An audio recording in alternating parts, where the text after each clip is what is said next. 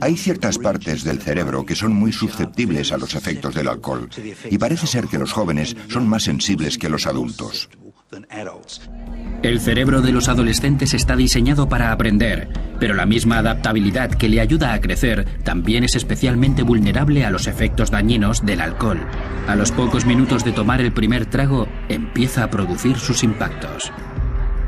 El alcohol es soluble en el agua y se extiende rápidamente por el flujo sanguíneo y por el cuerpo. El sistema nervioso central resulta afectado, provocando dificultades en el habla, visión borrosa y pérdida de equilibrio.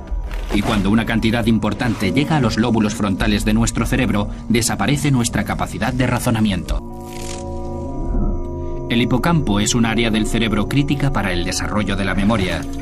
También es un área muy sensible a los efectos del alcohol.